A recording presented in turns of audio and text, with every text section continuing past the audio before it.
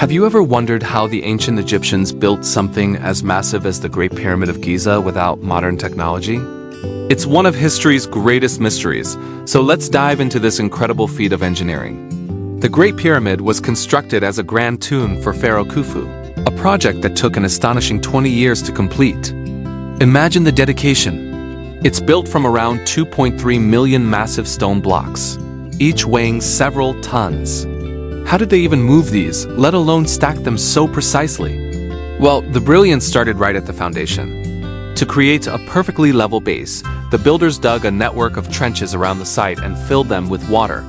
By marking the water level along the sides of the trenches and then cutting the rock down to that line, they achieved a near perfectly flat surface to build upon. It's a simple yet ingenious technique. Then came the challenge of stacking the millions of stone blocks.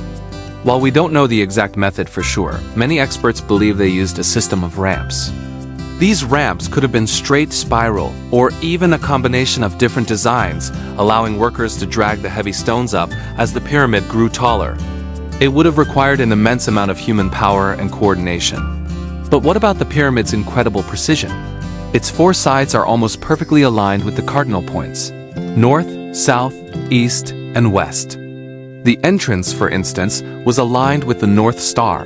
The Egyptians were master astronomers. They used simple tools like sighting rods to map the star's movements with incredible accuracy, allowing them to orient their monumental structures with the cosmos itself. So the Great Pyramid wasn't just built with brute force. It was a masterpiece of planning, mathematics, and astronomy.